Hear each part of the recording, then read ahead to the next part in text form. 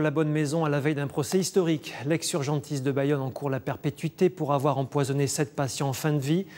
Plus de deux semaines d'audience avec en toile de fond le débat sur l'euthanasie. Bonsoir Sabrina Corrieri, vous allez suivre pour nous ce procès aux assises de Pau. Un procès hors norme. Oui, c'est un procès hors norme déjà par sa durée, trois semaines. C'est le plus long procès que la Cour d'assises de Pau ait organisé jusqu'ici. Et puis, il faut accueillir beaucoup, beaucoup de monde, plus de 70 témoins, autant de journalistes. Il y aura aussi les membres du comité de soutien de Nicolas Bonnemaison qui ont affrété un bus pour venir demain du Pays Basque euh, pour accueillir tout ce monde, en plus de la salle d'assises, le tribunal a donc dû aménager une deuxième salle d'audience avec un système de retransmission vidéo. Un procès hors norme, un procès emblématique aussi, car au-delà des faits, c'est le débat sur l'euthanasie qui est relancé par cette affaire.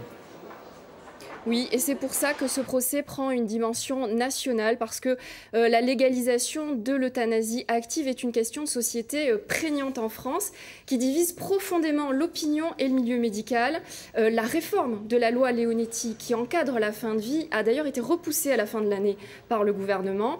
le débat n'aura donc pour l'instant pas lieu à l'Assemblée nationale. Du coup, il va s'inviter dans ce procès avec les témoins qui y sont cités, des sommités de la médecine, des politiques. On attend les anciens ministre Bernard Kouchner, Michel Delaunay ou euh, Jean, Léon, Jean Léonetti. Pardon. Donc vous le voyez, la question de la fin de vie va être largement abordée par les avocats de Nicolas euh, Bonnemaison. Ils se sont jusqu'ici très rarement exprimés. Ils ont fait ce soir une courte déclaration sur l'état d'esprit de leurs clients. Écoutez.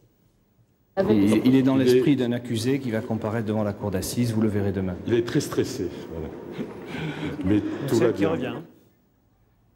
Voilà, ces avocats espèrent euh, bien entendu euh, l'acquittement parce qu'il faut le rappeler dans ce procès, Nicolas Bonnemaison risque la réclusion criminelle à perpétuité.